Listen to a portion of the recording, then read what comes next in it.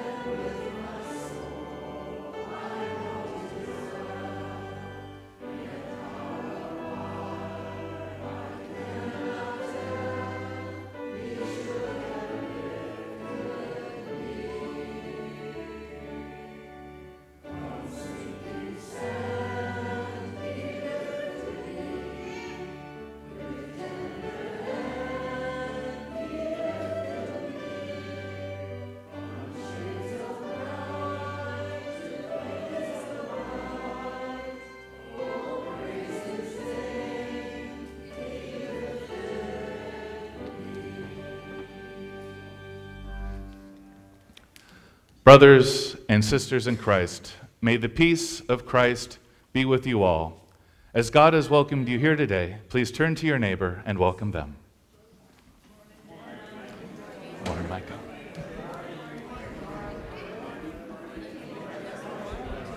Good morning, Mary.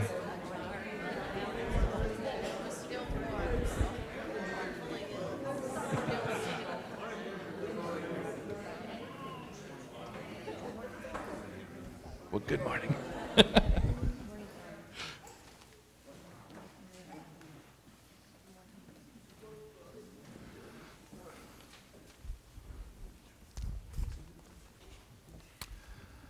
Our profession of faith comes from Lord's Day 16 of the Heidelberg Catechism.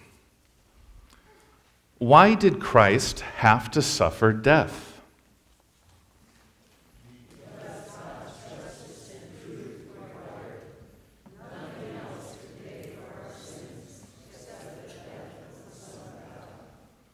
Why was he buried?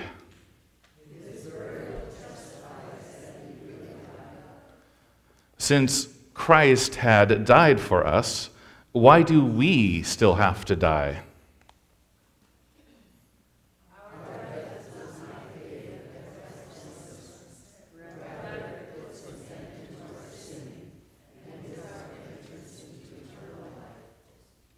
What further benefit do we receive from Christ's sacrifice and death on the cross?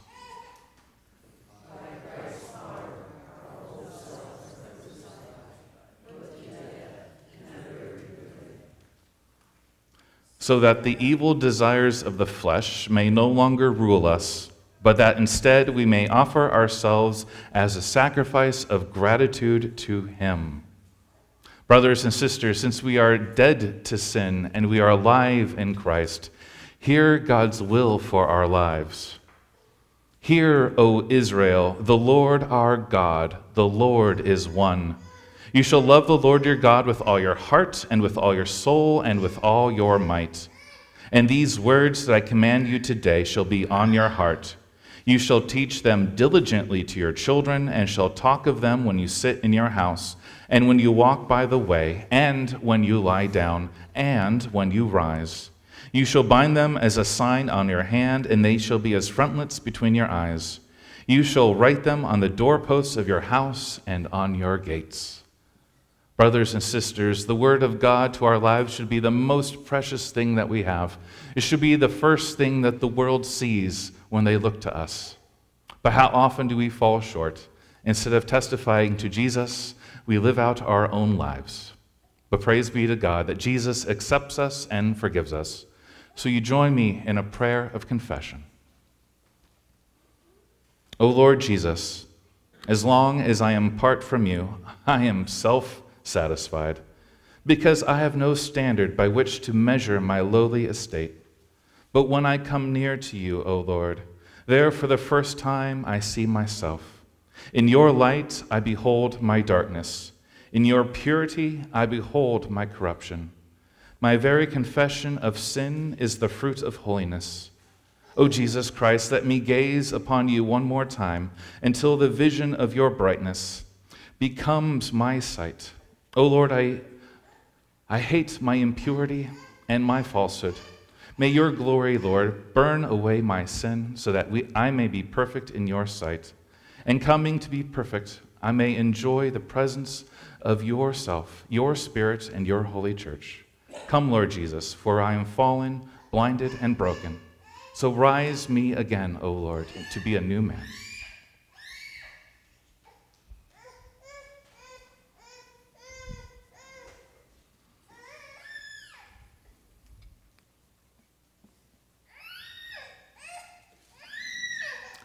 In the name of Jesus Christ, we pray. Amen. Brothers and sisters, hear the good news. In love, he predestined us for adoption to himself as sons through Jesus Christ, according to the purpose of his will, to the praise of his glorious grace, with which he has blessed us in the beloved. In him we have redemption through his blood, the forgiveness of our sins according to the riches of his grace. And all God's children say, Amen.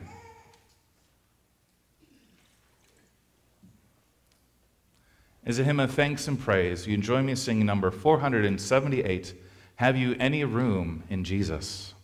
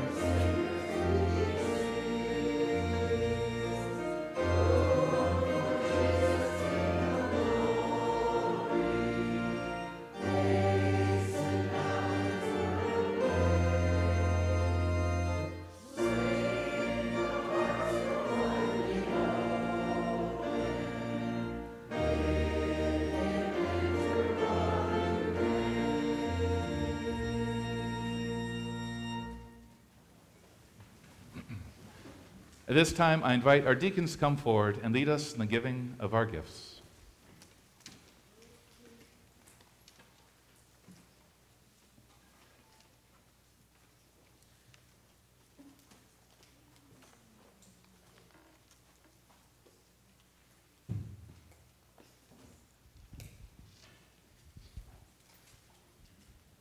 Shall we bow in reverence to our God?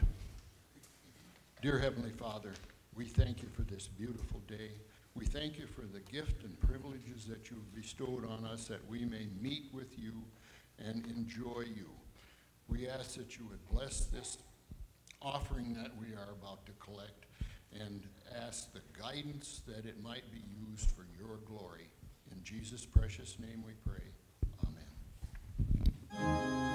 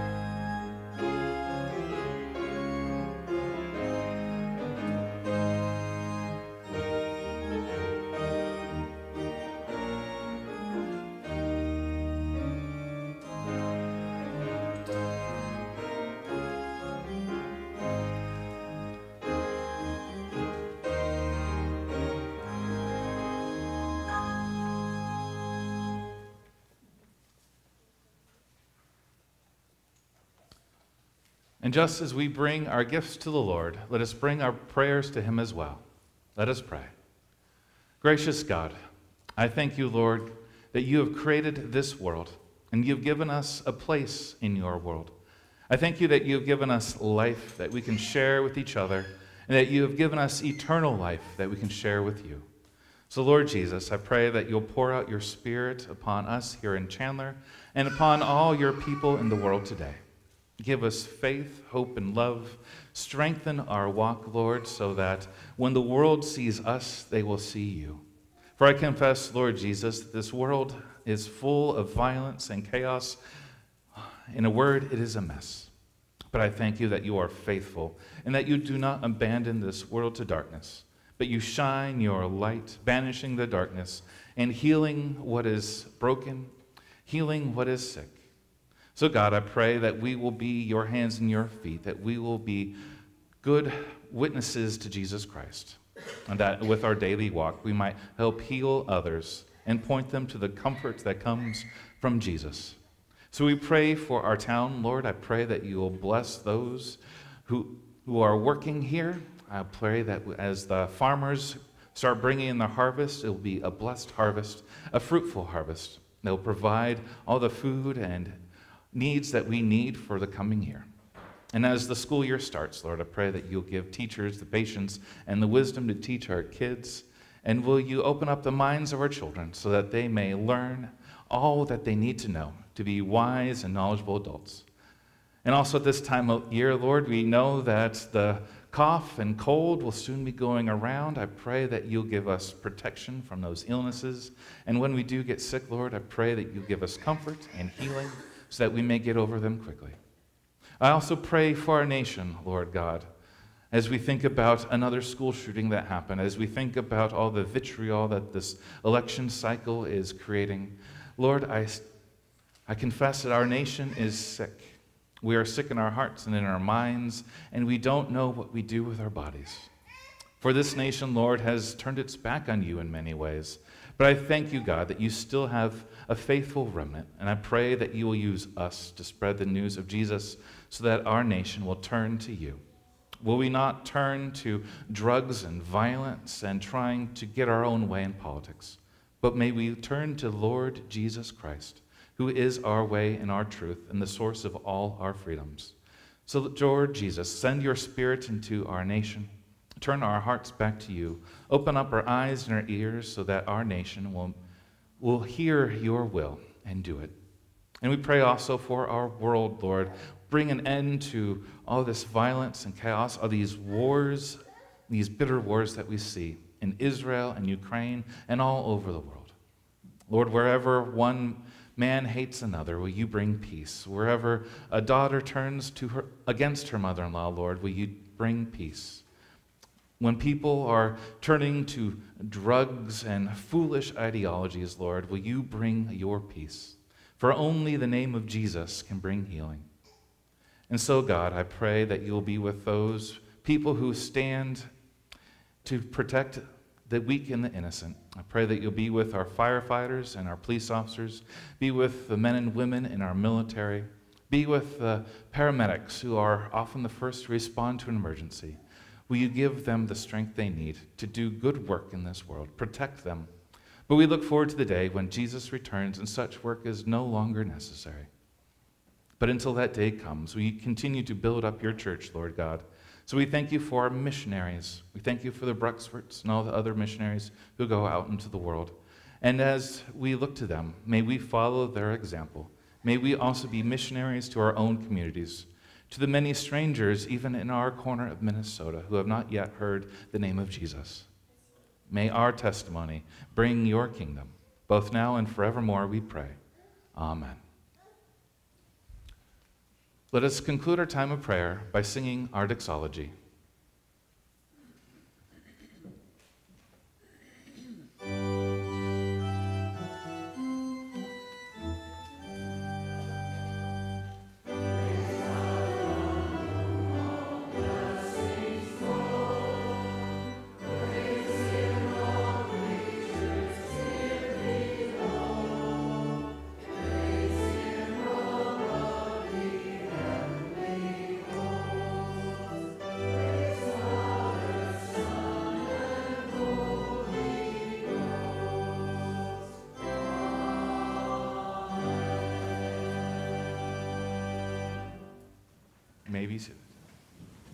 This time I invite our children to come forward.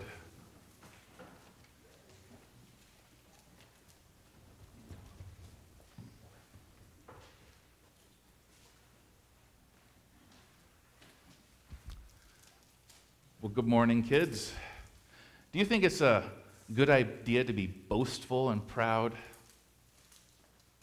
Mm-hmm. No, that's a, trick question. We all know that. But you know what? We all get proud of the things that we're able to do. For example, I tied my shoes today. Are you proud of me? Isn't that pretty cool? Huh? Are you pretty impressed I could tie my shoes? To, I well, Parker, you don't have any sh- shoelaces, so you must be very proud that I could tie my own shoelaces. Well, no, of course not. That's silly. Now, of course, when we're little, little kids and we have to learn how to tie our shoes, that is a big achievement that we're proud of. And for those little kids, you should be proud of it. But as we grow and mature, well, we face new challenges in life. And as we, well, as we say, get our driver's license or graduate from high school or college, or maybe learn how to weld or how to drive a tractor. There's so many things in this world that we get to learn to do, and we should be happy and proud that we get to learn how to do them. But no matter how good we get, you know, we always make mistakes, don't we? And we often feel guilty and ashamed when we make mistakes. But there is one thing that we can be proud of and be boastful about is that Jesus Christ is making us perfect. So when we look to the end of our lives, we might be afraid of death, but Jesus uses our death to make us perfect. And we can step into eternal life perfect with Him and with all the people that we love. Now, that is something to be boastful about. Don't you think so? I think so. Well, but I'm in no hurry. I am glad that I'm living here in Chandler with all of you and with all of you. So let's be thankful that life that we have by giving our blessing. Are you ready? All right. The Lord be with you. Thank you, children. You may go to Sunday school. Oh, of course, can't forget the most important thing. All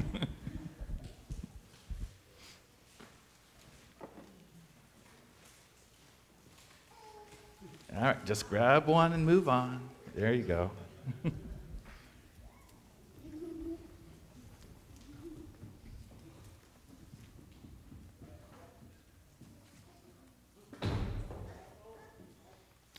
Our scripture reading today comes from Matthew 27, verses 32 through 30, 32 through 66. But first, let us pray the Spirit may illumine our reading. Holy Father, Holy Son, and Holy Ghost, Holy Three in One, I thank you, Lord God, that you do not abandon us to our sin and our misery. You do not leave us alone in the grave, but you sent your Son to live the perfect life to be the atoning Lamb of God that takes away our sin. And I thank you, Lord Jesus, that you conquered sin, Satan, and the grave, and that you bring us into eternal life in God's kingdom. So, Lord Jesus, as we read about your crucifixion, I pray that this sad story may encourage us. May it open our eyes to the perfection that awaits us, so that we may live more faithful, more bold, and more brave and strong, more faithful, lives today. Fill us with your Spirit, we pray. Amen. Matthew chapter 27, starting at verse 32. As they were going out, they met a man from Cyrene named Simon, and they forced him to carry the cross. They came to a place called Golgotha, which means the place of the skull. There they offered Jesus wine to drink mixed with gall, but after tasting it, he refused to drink it. When they had crucified him, they divided up his clothes by casting lots, and sitting down, they kept watch over him. Above his head, they placed the written charge against him This is Jesus, King of the Jews. Two robbers were crucified with him, one on his right and one on his left. Those who passed by hurled insults at him, shaking their heads and saying, you who are going to destroy the temple and build it in three days, save yourself. Come down from the cross if you are the Son of God. In the same way, the chief priests, the teachers of the law, and the elders mocked him. He saved others, they said, but he cannot save himself. He's the King of Israel. Let him come down from the cross, and we will believe in him. He trusts in God. Let God rescue him now if he wants him. For he said, I am the Son of God. In the same way, the robbers who were crucified with him also heaped insults on him. From the sixth hour until the ninth hour, darkness came over all the land. About the ninth hour, Jesus cried out in a loud voice, Eloi, Eloi, Lama Sabachthani, which means, My God, my God, why have you forsaken me? When some of those standing there heard this, they said, He's calling Elijah. Immediately, one of them ran and got a sponge. He filled it with wine vinegar, put it on a stick, and offered it to Jesus to drink. The rest said, Now leave him alone. Let's see if Elijah comes to save him. And when Jesus had cried out again in a loud voice, he gave up his spirit. At that moment, the curtain of the temple was torn in two from top to bottom. The earth shook and the rocks split. The tombs broke open, and the bodies of many holy people who had died were raised to life. They came out of the tombs, and after Jesus' resurrection, they went into the holy city and appeared to many people. When the centurion and those with him who were guarding Jesus saw the earthquake and all that had happened, they were terrified and exclaimed, Surely he was the Son of God. Many women were there watching from a distance. They had followed Jesus from Galilee to care for his needs. Among them were Mary Magdalene, Mary, the mother of James and Joseph, and the mother of Zebedee's sons. As evening approached, there came a rich man from Arimathea named Joseph, who had himself become a disciple of Jesus. Going to Pilate, he asked for Jesus' body, and Pilate ordered that it be given him. Joseph took the body, wrapped it in a clean linen cloth, and placed it in his own new tomb that he had cut out of the rock. He rolled a big stone in front of the entrance to the tomb and went away. Mary Magdalene and the other Mary were sitting there opposite the tomb. The next day, the one after preparation day, the chief priests and the Pharisees went to Pilate. Sir, they said, we remembered that while he was still alive, that deceiver said, After three days I will rise again. So give the order for the tomb to be made secure until the third day. Otherwise, his disciples may come and steal the body and tell the people that he has been raised from the dead. This last deception will be worse than the first. Take a guard Pilate answered, Go, make the tomb as secure as you know how.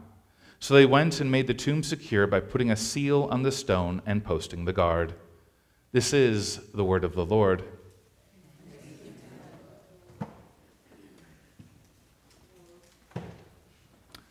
Now, about two years ago, Charles III was crowned King of England.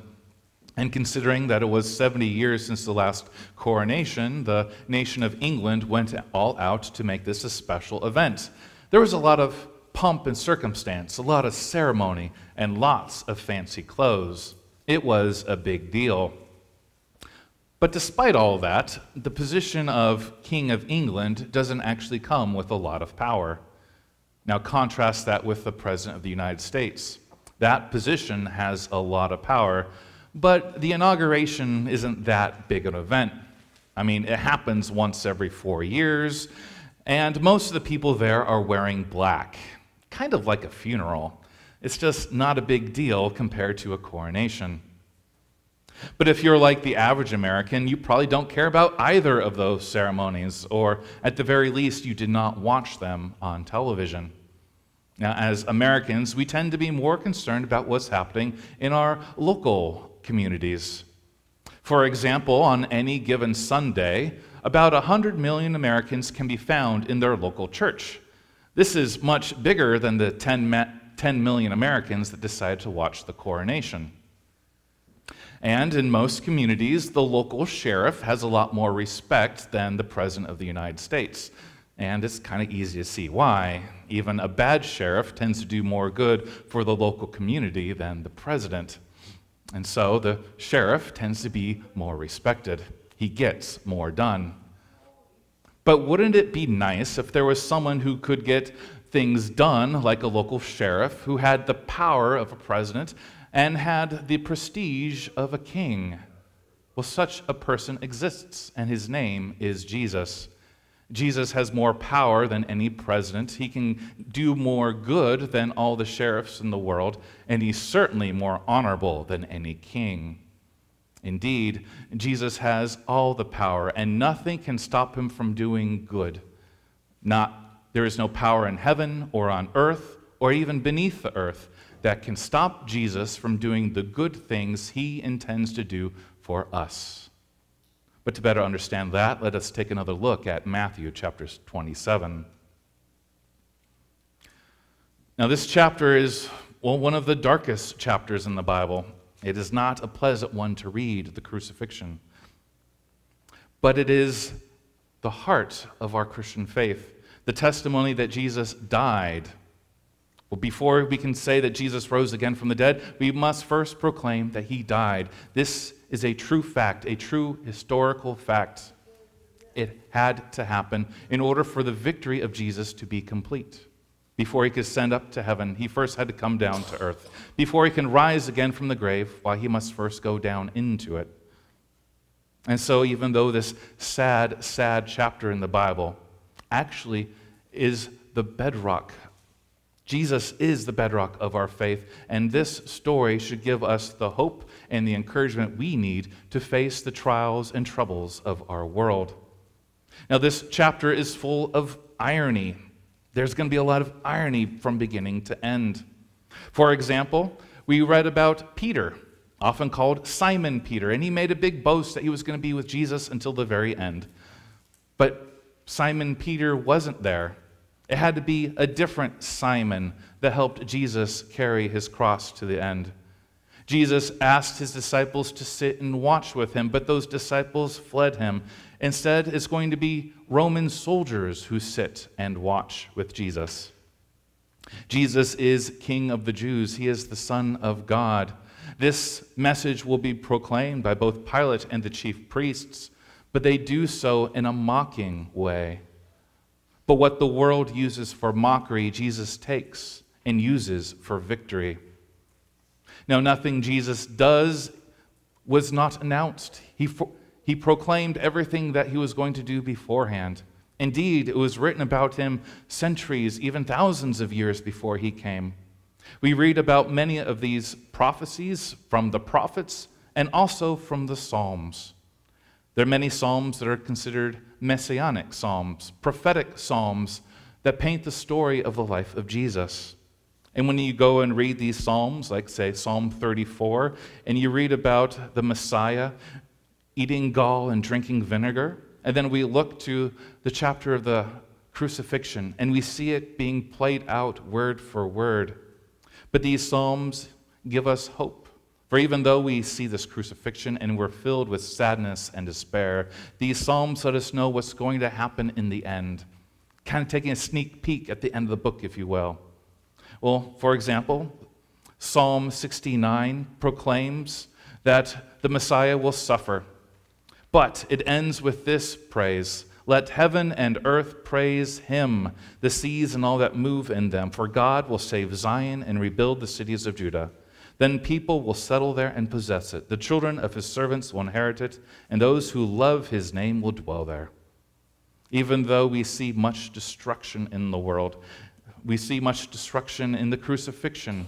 Later on, the, those same Roman soldiers are going to tear down the city of Jerusalem. But God has warned us that this will happen, but in the end, God will fix it, will put it back together, and those who praise God will enter into his kingdom. Psalm 23 is another messianic psalm. And if you read that psalm, it is the exact picture of what we read about in, in Matthew 27. When Jesus is on the cross and he cries out, My God, my God, why have you forsaken me? That is the first line of Psalm 23. Now, any first century Jew hearing Jesus say those words will immediately think about that psalm. In much the same way that I could say, Jesus loves me, and you start thinking about this, that song. Or I could say John 3:16, and you start thinking about that verse. So when Jesus cries out, My God, my God, why have you forsaken me? Those who have studied the Psalms will immediately think of Psalm 23. And the picture in Psalm 23 is exactly what we see happening around Jesus a lifted up Messiah, a suffering servant. His enemies around him, mocking him, casting lots for his clothes, piercing his side, but not a bone of his body will be broken. But this is how that psalm ends. All the rich of the earth will feast and worship. All who go down to the dust will kneel before him. Those who cannot keep themselves alive. Posterity will serve him. Future generations will be told about the Lord. They will proclaim his righteousness, declaring to a people yet unborn, He has done it. It is done, is the cry of Jesus that we read about in the other gospel accounts. Matthew is saying the same thing. With the crucifixion, the work of the law is done. The work of putting an end to sin, an end to death, of bringing people into God's kingdom is done. And we see Psalm 23 being fulfilled in that very moment. The centurion sees Jesus dying on the cross. He sees the effects of what happened, and he cries out, Certainly, this is the Son of God. That fulfilled the prophecy of Psalm 23. And guess what?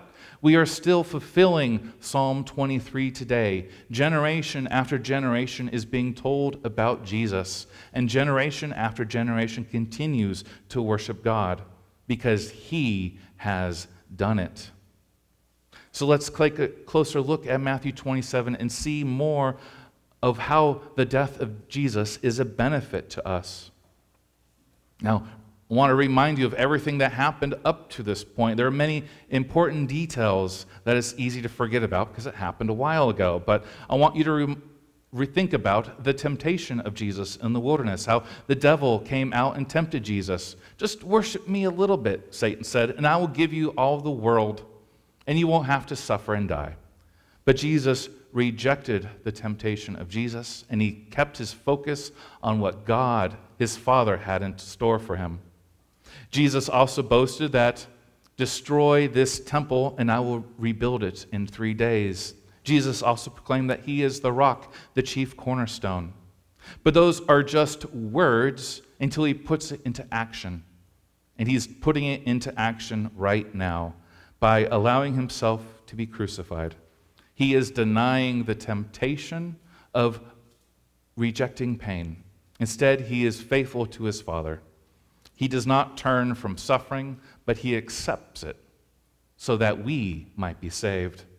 Jesus allows his body, his temple, to be destroyed so that he may rebuild it again in three days, thus proving what he said earlier. Jesus is the rock, and even with his death, there is a great earthquake, and those rocks open up, the grave opens up the gates of hell cannot stand against the power of Jesus when he comes. And so we see a little foretaste, a hint of what's to come. When those rocks are rolled away, when the, our rocks on our tomb are rolled away, and we also, God's holy ones, are able to rise up and walk around once more. But that, again, is a foretaste of what's to come. Jesus claimed to have the power of the king, to be the holy temple, to be the chief priests.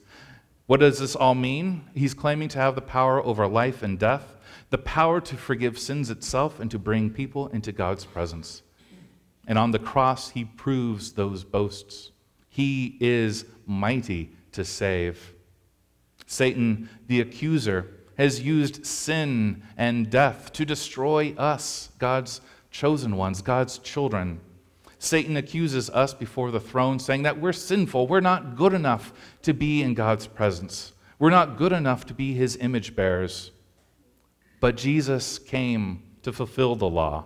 He took the curse of the law upon himself, thus fulfilling the law, so that when, G- when Satan accuses, Jesus can say, No, Satan, you are wrong. And then he takes the weapons of Satan.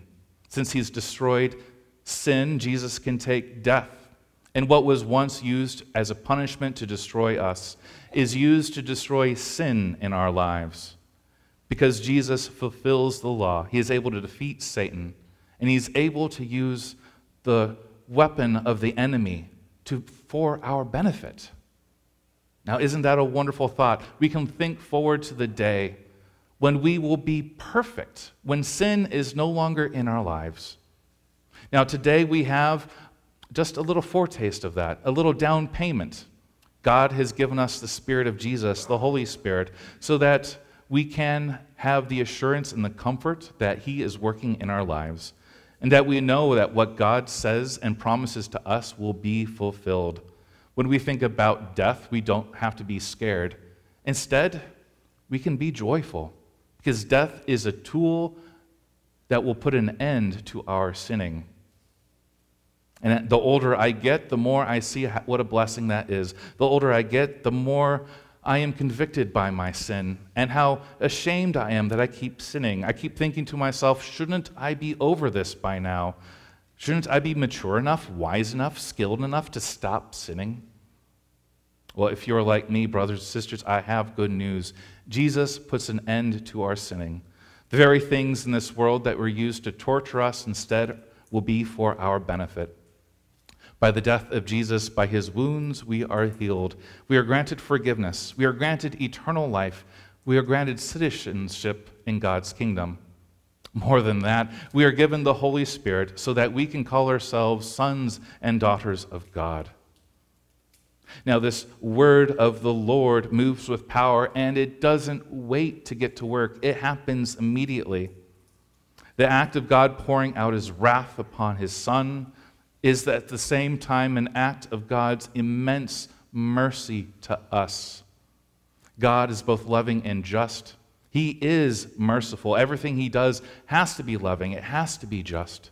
And so, when it's required that God pours out his wrath, he is also going to act mercy, with mercy as well.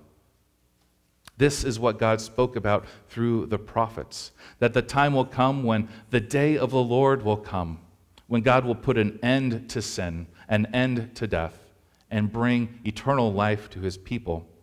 But it was going to come through blood. But that blood is good news because when Jesus fulfills the law, God is no longer limited to just the temple.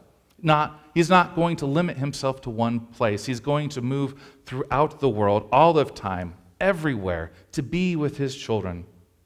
This is symbolized when the curtain is torn open it's as if God is leaving the temple and he's getting everything out of the way. Any obstacle in his path, whether it's a curtain or whether it's a stone on the tomb, everything is being broken open, cast aside. Nothing stands between us and God anymore.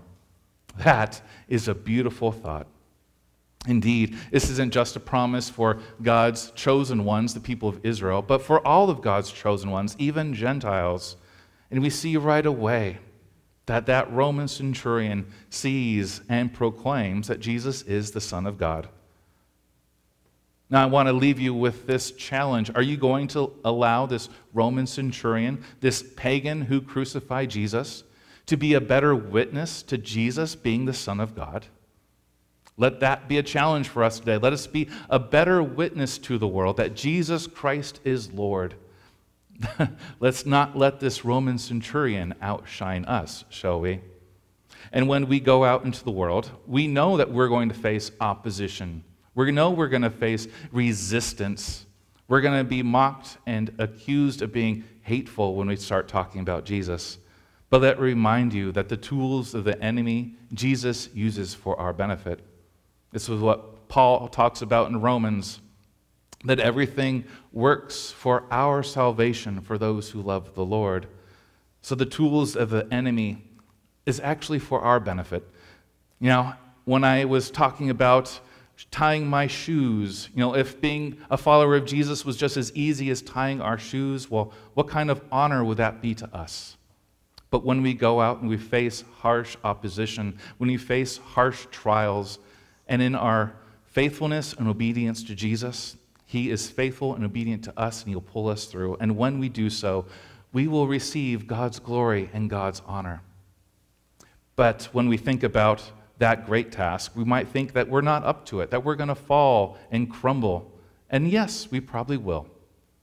But praise God that His Spirit in us will not fail, and we will be picked up again and again, as often as it takes, in order for God's purpose in our lives to be fulfilled. So, brothers and sisters, walk with God's glory. He honors us with his presence. Let us acknowledge that presence each and every day. When we rise up in the morning, when we go to bed at night, when we're eating at our dinner table, or we're out in the world doing our work, when we're talking with kids or strangers or whatever we're doing, let us acknowledge that, the, that God is with us. And not even the gates of hell or the stones of the grave can stand between Jesus and us. He is coming for us, and His Spirit is with us this very moment and every moment of every day. That is the power of the gospel for us to live faithful lives, bold and courageous lives in the world, free from sin and Satan, free from being fearful of all the pain in this world. So let us walk with faith, hope, and love. Let us walk with the full assurance that Jesus loves us, and his love for us makes us perfect.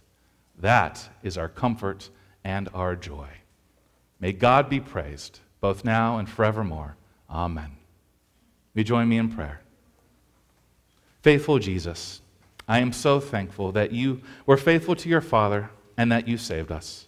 So pray, Lord Jesus, that as we look to you, that as we look to your hands and your feet and your side, when we see what you endured for us, that we will be contrite and humble, that we will repent, and we will pick up our cross and follow you. So when we look to you, Lord Jesus, will you fill us with love and hope and faith? May your joy and gratitude overflow in our lives, so that each and every day we can confess that you are King. In your name we pray. Amen. As a hymn of thanks and praise, we join me in singing number 386 The Comforter Has Come.